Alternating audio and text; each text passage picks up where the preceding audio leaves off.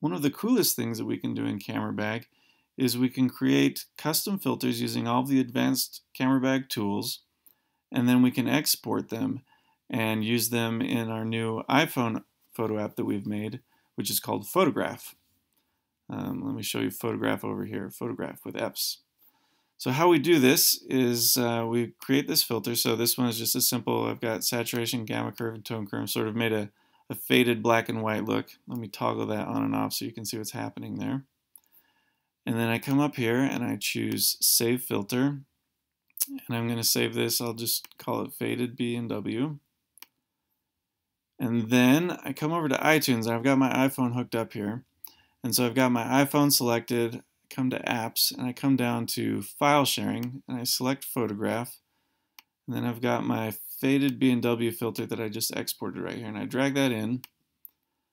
And then let me come over to Fotograf here, and you can see this photo that I've taken in I took in Grand Central the other day, and here are the normal Fotograf filters. Uh, if I scroll all the way over here, you can see I've got imported filters, and right there, imported filters number one is the faded black and white uh, filter that I created in Camera Bag. So you can see you can create really powerful, unique uh, filters, anything that you can imagine, you can create in Camera Bag, and then export it and use it right on your phone, just like any of the other filters, just to uh, instantly uh, filter any of your, your snapshots you're taking on the go.